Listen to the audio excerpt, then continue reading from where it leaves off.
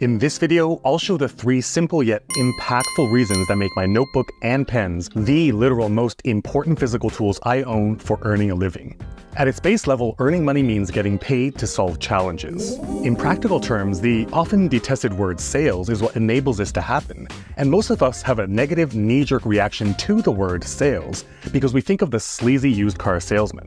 But even if your profession is not in sales, implementing a system for sales like the one I'm about to share is even tremendously powerful when you are trying to tackle a completely personal challenge. So whether you are an entrepreneur selling your product or service, or an employee seeking a larger than standard raise from your boss, or hell, convincing your squad to go to Vegas instead of New York for the group trip, this video will arm you with a strong springboard framework. But what does all of this have to do with a notebook? One, putting pen to paper is inherently faster than typing when approaching a new challenge, especially since the act of solving new problems is non-linear, iterative, and process-driven, meaning we don't really know the solution just yet, but we know that there's where we are now and where we want to be.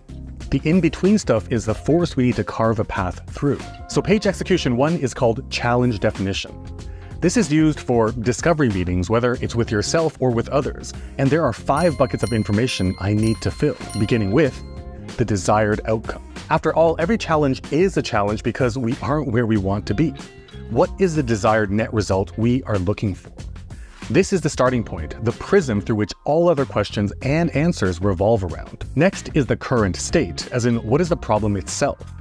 The greatest value, and coincidentally the most important thing to draw out here, is whether what they're calling current problems are merely symptoms or if they are indeed the root challenge. Solving symptoms are just band-aids that enable the actual problem to continue to grow like a cancer. A common example for individuals of this symptom versus root challenge is in weight loss.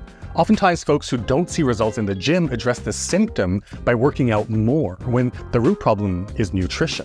A common example for businesses lie in advertising. Spending more on paid ads when the product itself is misaligned to the target customer's expectations. Third is to tease out the base hit to home run spectrum.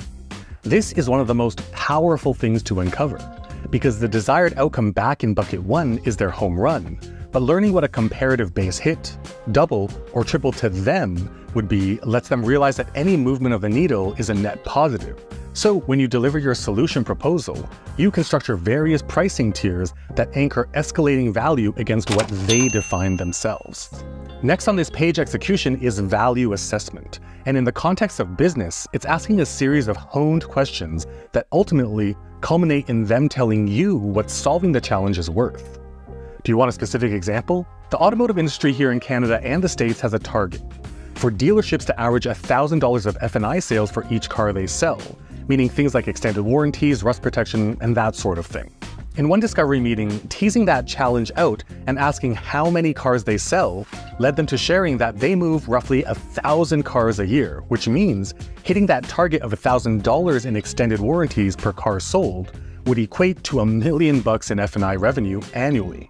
Back in step two of this page execution, learning their current state, they share that they were averaging roughly $800 per car sold, which means they were losing $200,000 each year and every year against target.